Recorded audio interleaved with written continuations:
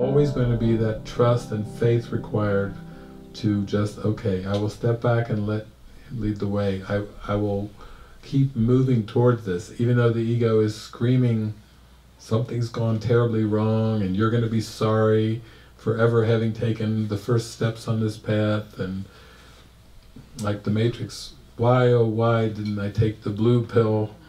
You know and the ego will come in many many forms to try to say stop you know you're just going to disappear if you uh, go in that direction and indeed there will seem to come a point where you will come to the threshold of, of the disappearance of the universe. Uh, but that threshold comes with much, much, much being done through, much mind training, much devotion, you know, to put it, right when I say much devotion, the hummingbird stops right in front, right? Good point. like emphasis on much devotion. Yeah, yeah. That that hummingbird stopped right there to just give us our exclamation point for that one.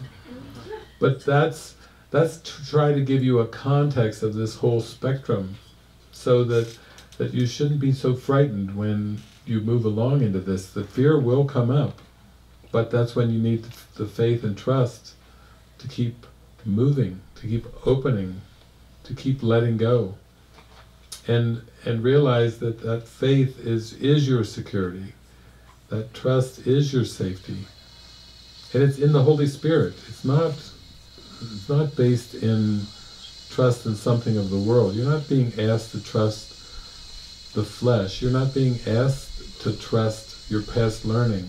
You're not being asked to trust the images. You're being asked to trust the holy spirit and trust the one who is the bridge back to eternity, the one who will give you whatever you seem to need in this journey and will renew it for as long as you have need of it.